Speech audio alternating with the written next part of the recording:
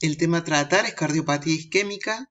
Comenzamos dando la definición de la misma. Constituyen un conjunto de síntomas y signos producidos por un desbalance, por un desequilibrio entre el aporte de oxígeno y la demanda miocárdica de oxígeno. Esto lleva a una situación de isquemia miocárdica con sus manifestaciones clínicas que vamos a ver que los dos grandes grupos es la forma aguda, síndromes coronarios agudos, y la forma crónica, enfermedad coronaria crónica o síndrome coronario crónico. ¿Cómo se producen? ¿Cuáles son los mecanismos que llevan, que conducen a estas manifestaciones, a estos síndromes? Bueno, el principal es por reducción del flujo arterial coronario y secundariamente por disminución del aporte de oxígeno, como por ejemplo la anemia, las enfermedades pulmonares, o por aumento de la demanda de oxígeno, esfuerzo, emoción, estrés, condiciones de hipertermia, hipertiroidismo, abuso de cocaína, Em, otras condiciones concomitantes como la hipertensión arterial, la estenosis aórtica y algunas arritmias. Volviendo a este grupo, que es el más relevante, la reducción del flujo arterial coronario, allí nos encontramos varios modos, varios mecanismos. Uno de ellos es la presencia de ateromatosis, es decir, la placa de ateroma, que es la correlación eh, tradicional con eh, las enfermedades coronarias crónicas o el síndrome coronario crónico. Esas placas pueden accidentarse, que se llama trombosarse, y se ocluyen en forma total o parcial. Cuando la placa se hace inestable y ocurre este accidente de placa o la trombosis, se manifiesta clínicamente como un síndrome coronario agudo. Hay otros mecanismos menos frecuentes como el espasmo coronario, que es el mecanismo específico eh, para la angina de Prince-Metal. También hay otros como la enfermedad de pequeñas arteriolas, llamado síndrome X. Bien, acá mostramos eh, la placa Mm, las capas y cómo se va haciendo el depósito de la placa mm, con un core que es el centro lipídico y luego se va sumando una capa fibrosa. Esta placa, cuando mantiene durante mucho tiempo estas condiciones, aunque lentamente esa capa fibrosa va aumentando y se va depositando, se llama placa estable y se corresponde con el síndrome coronario crónico que es eh, aquel que clínicamente es estable. Es decir, los síntomas se presentan ante los mismos desencadenantes. Por ese motivo se llama estable. Hasta que esta oclusión se hace muy severa y se produce la trombosis. Y el cuadro clínico que se va a manifestar va a corresponderse al síndrome coronario agudo. Muy bien.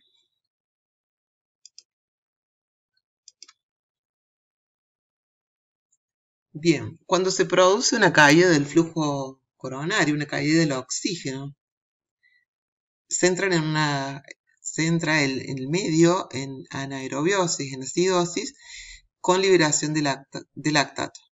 Esto lleva, afecta el miocardio y de qué manera. Primero afecta la elasticidad miocardia y miocárdica y posteriormente la contractilidad. Esto, si se sostiene, eh, va a provocar la disfunción ventricular, ya que además va a provocar la alteración del potencial de acción transmembrana. Y por esto es que se ven los cambios en el electrocardiograma. Bien, de sostenerse ese mecanismo se producirá un daño celular que podrá ser reversible o no. Si es irreversible, será la necrosis, lo que llamamos infarto agudo de miocardio. En este caso, en general es el dolor, que se llama angor pectoris o angina de pecho, que es el dolor característico, síntoma guion de, de los síndromes coronarios. Bueno, la epidemiología y los factores de riesgo. Vamos a decir que la enfermedad coronaria en general tiene una morbimortalidad en los países desarrollados de un 8%, esto medido en la población general. Por lo tanto, es de suma relevancia conocer la enfermedad, cuáles son sus síntomas y bueno, eh, mm, pensarlo, tener presente que es un síndrome clínico electrocardiográfico en el cual puede incluso el signo guion, que es el dolor, estar ausente. ¿Cuáles son los factores de riesgo? Algunos de ellos son inmodificables como la edad, a mayor edad, mayor posibilidad de padecer la enfermedad. En el caso de la mujer en particular, luego de la menopausia pierde el efecto protector de las hormonas femeninas y de allí más no alcanza a igualar em, el nivel de enfermedad del hombre, pero sí crece. Eh, el sexo, decíamos, es más frecuente en el sexo masculino y también eh, es relevante en la anamnesis preguntar sobre antecedentes familiares de cardiopatía isquémica o de muerte súbita, ya que gran parte de las veces la muerte súbita es producida por estos, estas alteraciones. Hay factores que sí son modificables, por lo tanto debemos tenerlos muy en cuenta para tratar de evitarlos, que son la dislipemia, que puede tratarse, la hipertensión arterial, el tabaquismo, la diabetes, aunque en realidad en la instancia que uno puede actuar es el síndrome metabólico. La obesidad, sobre todo la obesidad central, que es un marcador de riesgo, y otros factores psicosociales como el estrés, el sedentarismo y la dieta. La dieta sobre todo hiperlipídica. Y bueno, con hidratos de carbono en exceso también, dado que esto se relaciona con el síndrome metabólico y la diabetes. También en la anamnesis preguntaremos al paciente sobre comorbilidades, antecedentes personales patológicos como la estenosis aórtica, miocardiopatía hipertrófica y otras enfermedades concomitantes que pueden presentarse como concomitantes o previas, accidente cerebrovascular, insuficiencia renal, insuficiencia vascular periférica. ¿Cuál es la presentación clínica? Eh, las manifestaciones, las formas clínicas pueden ser variadas. Mencionábamos antes las dos principales, el síndrome coronario crónico y el agudo. La enfermedad coronaria crónica, que se llama angina o antes se denominaba angina crónica, es una forma de presentación frecuente. Eh, y otra forma es la miocardiopatía isquémica, es decir, cuando el músculo se ve afectado en forma de parches en general por eh, la isquemia. La forma aguda se caracteriza por presentarse como un ángulo inestable o el infarto si se continúan, si persisten las condiciones de isquemia. Veíamos recién el trombo, ¿sí? que es característico, el trombo blanco del primero, el trombo rojo del segundo. Esto se produce cuando hay una obstrucción importante, en general más de el 75% eh, de oclusión de su luz, se manifiesta el dolor. Ya aclaramos que el dolor puede ser inexistente y esto, esto se llama isquemia silente, que es aquel paciente que tiene una cardiopatía isquémica y que en general no lo sabe. Es decir, son episodios de isquemia pero sin angor, que es el dolor característico de este síndrome. ¿Cómo es el diagnóstico en esos casos? Bueno, son pacientes que, por ejemplo, van a un control médico para hacerse lo que ellos llaman un chequeo y eh, cuando se le solicita un electrocardiograma puede visualizarse allí eh, lo que ha quedado como secuela, por ejemplo, de un viejo infarto eh, o arritmias sugestivas de trastornos isquémicos o bueno en el holter, en el control del holter. Otra forma de manifestarse es este, la muerte súbita, que no es, eh, que no es infrecuente. Bien, hay una forma que es el síndrome de Brugada, que es eh, un síndrome clínico electrocardiográfico, que es de origen genético y la alteración estaría a nivel del cromosoma 3. Clínicamente, como se presenta como un síncope o la muerte súbita. ¿Cuál es al electrocardiograma, digamos, el trastorno que se evidencia allí? Es una elevación persistente del segmento ST, sobre todo en las derivaciones derechas, B1, B2. Y puede estar puede presentarse como muerte súbita, generalmente cuando está asociado a arritmias ventriculares severas.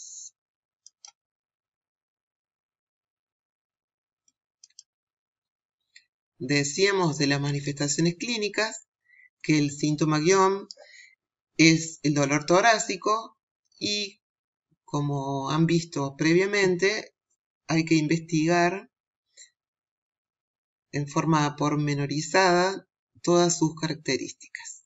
Respecto a la localización, la localización más frecuente y la angina típica, que se llama o se llamaba Angor pectoris, un nombre un poco antiguo, se en el área precordial, pero hay otras áreas que aquí están marcadas en la cual se puede presentar ese dolor, ya sea precordial en principio y luego extenderse hacia el cuello o hacia el miembro inferior, sobre todo izquierdo, o aparecer exclusivamente en estas zonas.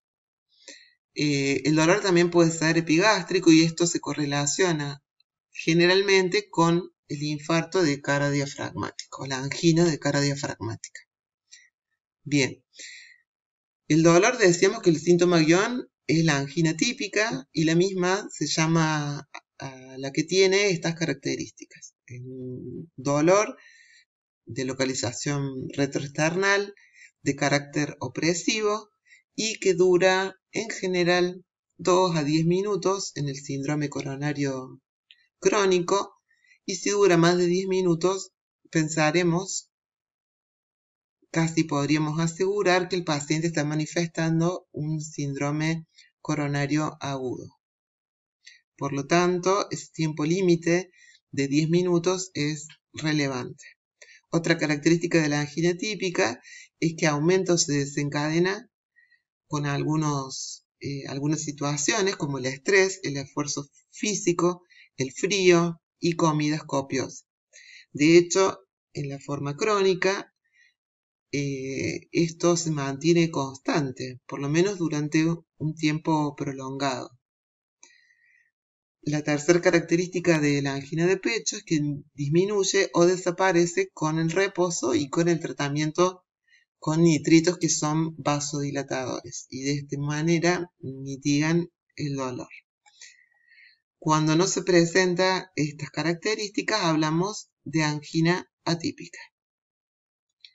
Bueno, insistimos un poco con el diagnóstico basado en la clínica, aunque ya aclaramos que puede no haber dolor, puede haber isquemia silente, sobre todo en pacientes añosos, en pacientes diabéticos, o ese dolor no ser característico.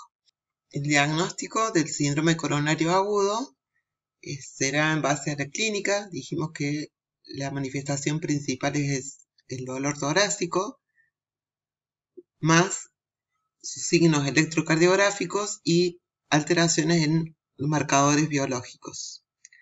Vemos aquí el dolor torácico con el signo de Levin, que es como característico. El paciente manifiesta El dolor engarra, el dolor es angustiante, el paciente puede adquirir la fase doliente y él lo manifiesta así, como dolor en garra o sensación opresiva y como un dolor importante. Recordamos que puede no estar el dolor, pero es lo característico. De allí el nombre de Angor pectoris.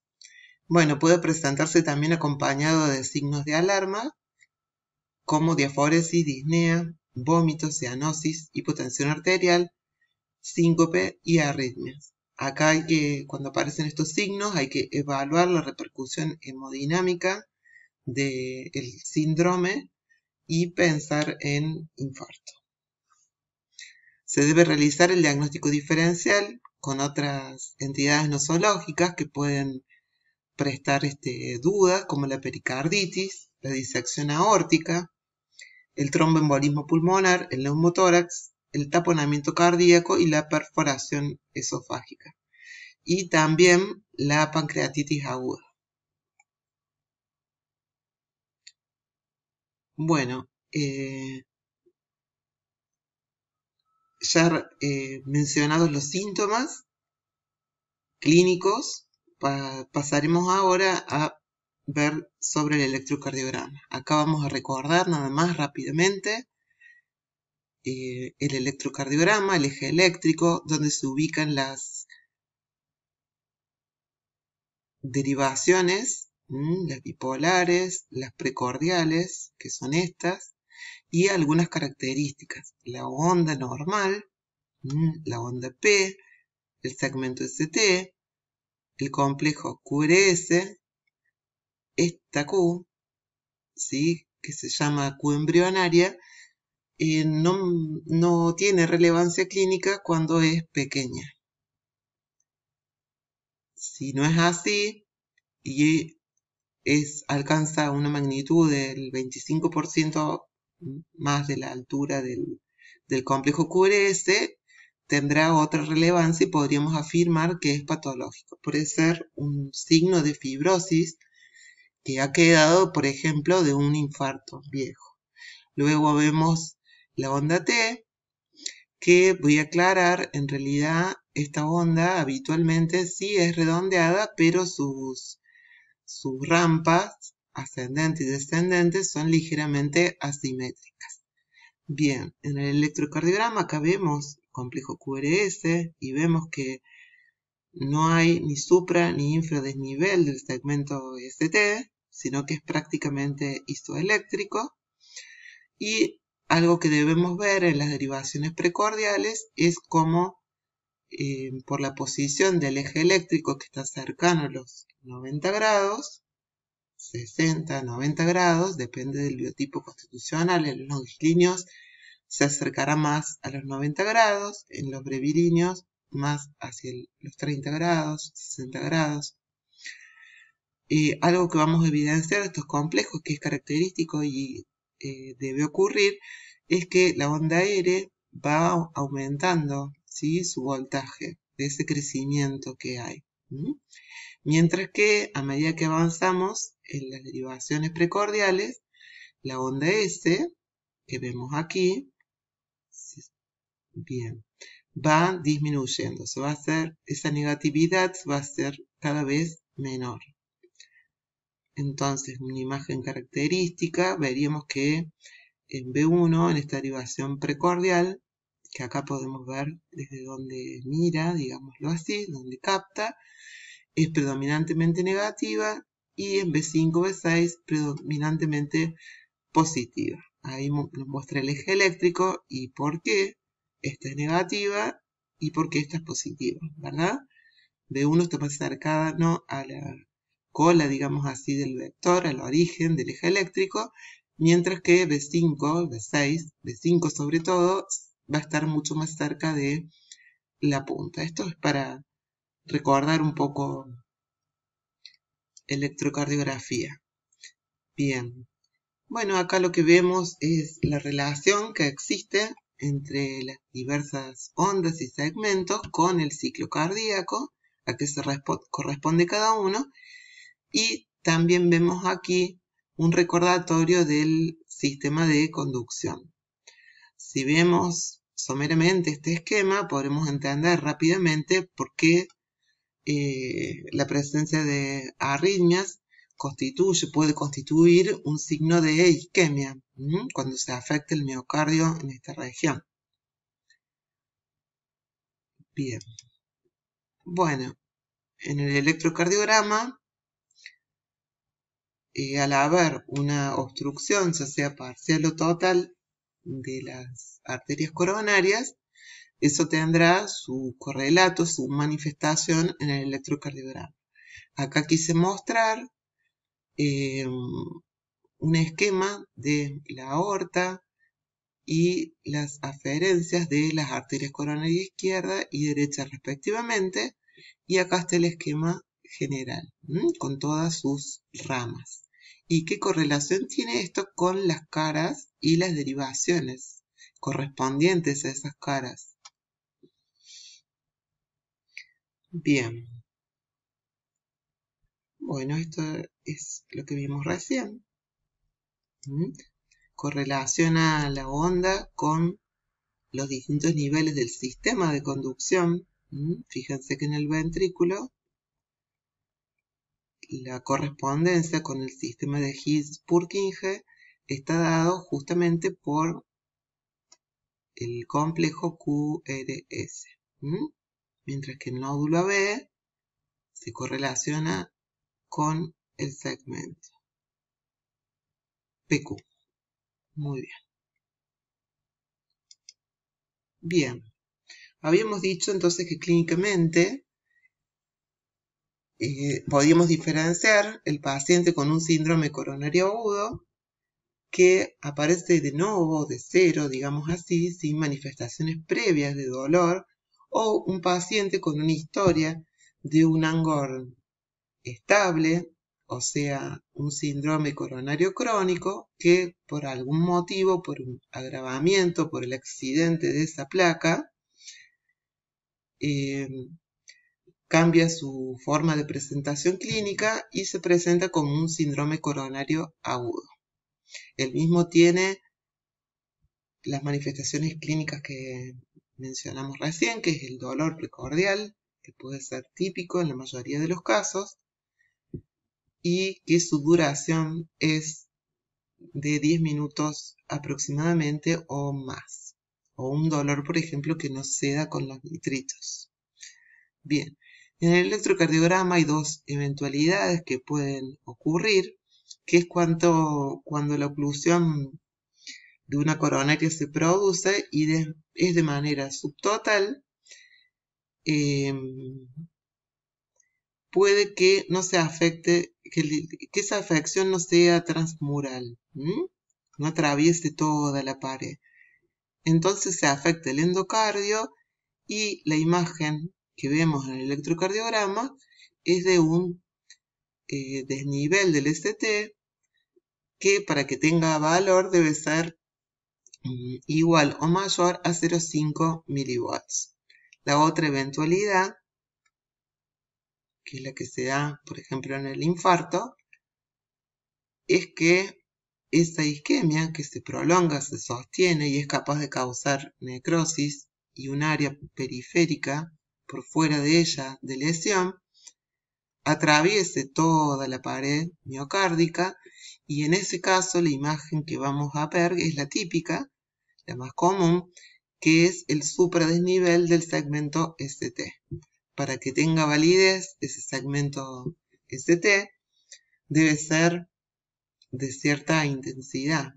Debe ser igual o mayor a 0,1 mV en las derivaciones en general o de 0,2 mV en B1, B2 y B3.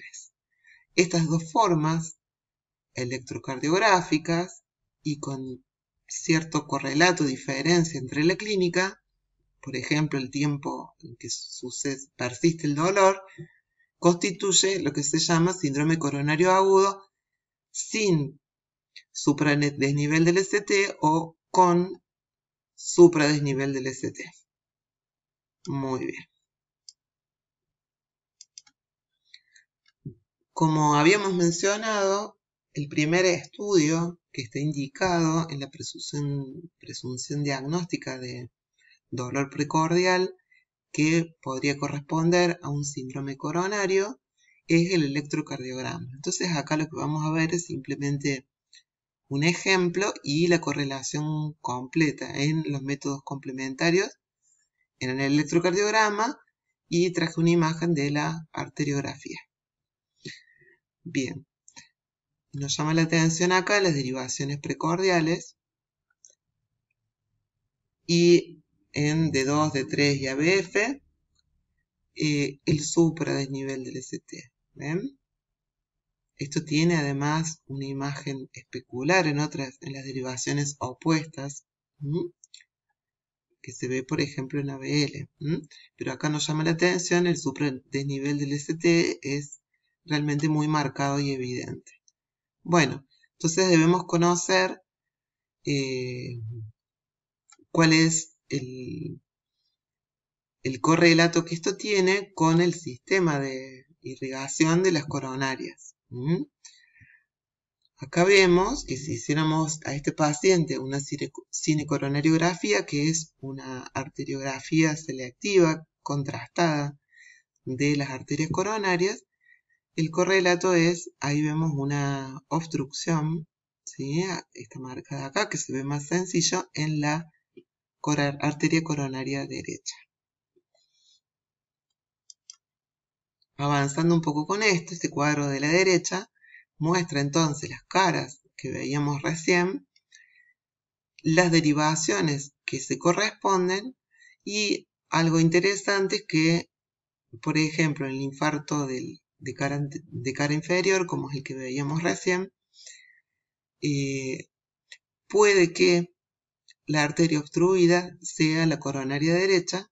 Esto ocurre en el 80% de los casos pero hay un 20% de los casos cuya mm, irrigación de esta área, que es la cara inferior del miocardio, está irrigada por la arteria circunfleja.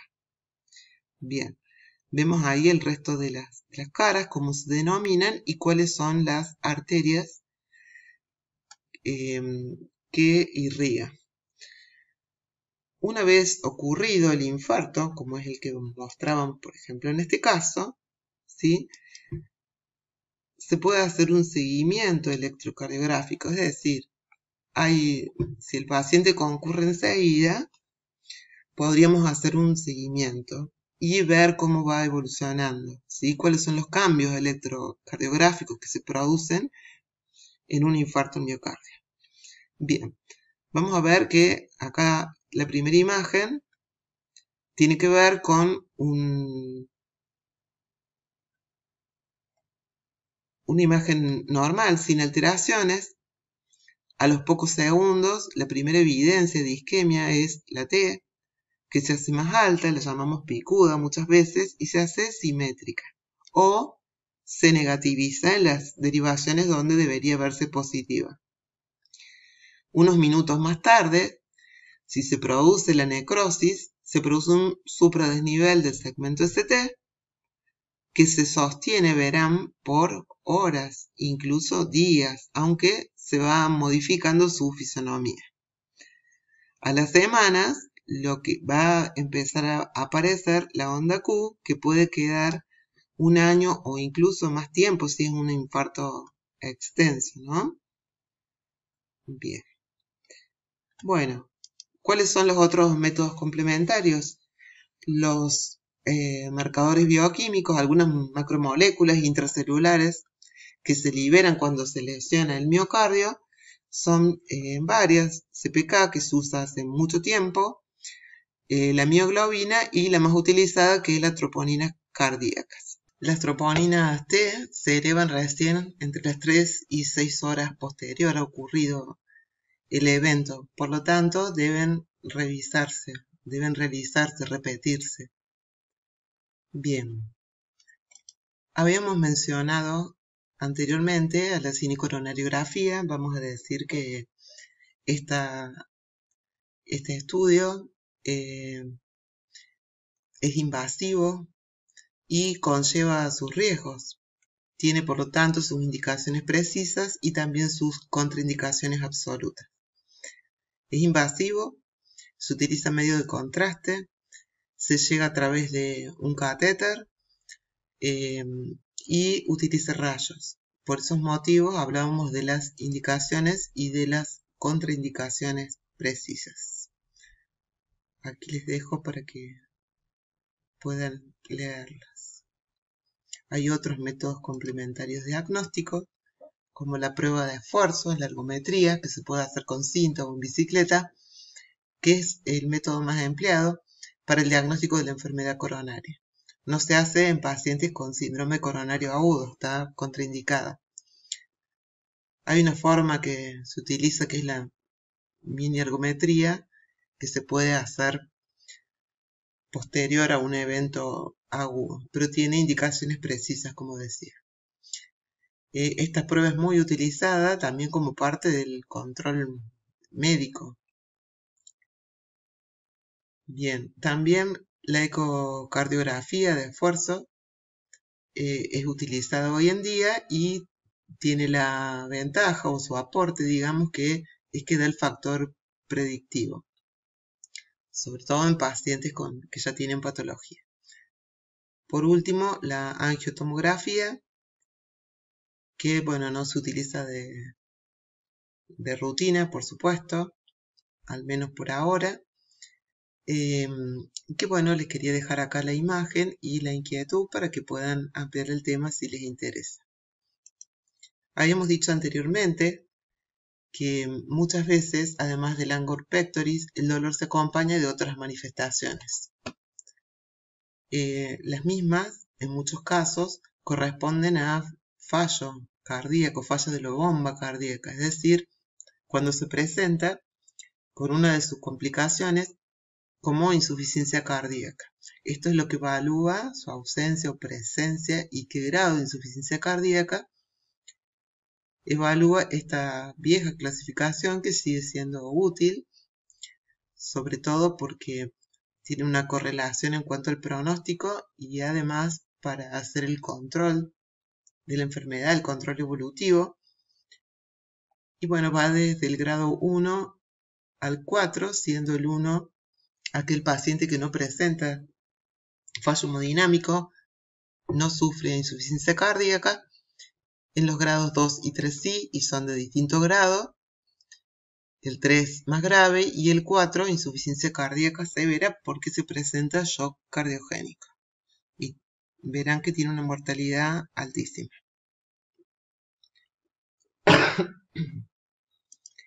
Dentro de las complicaciones del infarto agudo del miocardio, la insuficiencia cardíaca que mencionábamos recién, el shock cardiogénico, eh, un reinfarto, el infarto del ventrículo derecho, y la pericarditis post-infarto que se llama pericarditis epistenocárdica. También dentro de las complicaciones, el paciente puede presentar arritmias, sean taquiarritmias o bradiarritmias, suelen ser más graves las de origen ventricular y también lo podemos correlacionar con las imágenes que vimos del sistema de conducción, pueden aparecer, aparecer allí trastornos de la conducción. Se pueden presentar eh, complicaciones mecánicas, en general muy graves, porque llevan o a una insuficiencia cardíaca severa o al shock cardiogénico incluso, que son la rotura de la pared libre ventricular, el pseudoaneurisma, la insuficiencia mitral por rotura del músculo papilar o la rotura del tabique interventricular, es decir, que el paciente queda como una comunicación interventricular. Por último, las complicaciones tromboembólicas. Los trombos se forman dentro de la cavidad afectada intraventricular y eh, Puede aparecer embolismo sistémico o trombosis de la eh, venosa y embolismo pulmonar. Para terminar, quería hacer mención al doctor René Favaloro, que fue un médico argentino de relevancia mundial. Fue el primer médico que practicó, la primera vez en el mundo que se practicaba el bypass eh, aorto coronario y fue en el año 1967. Esto es una técnica aún empleada, acá está conceptualmente simplificada, para que veamos esta idea de puente, de saltear el área obstruida. Se puede hacer, las primeras eran con, venas sacadas de los miembros inferiores, afena en general, o se puede hacer con un puente arterial. Eh, hoy en día existen otros métodos como eh, la trombolisis, que se hace con, drogas, que es muy utilizada, y también la angioplastia, que lo que hace es este, dilatar, digamos, la parte afectada de la, eh, segmento afectado de la coronaria obstruida.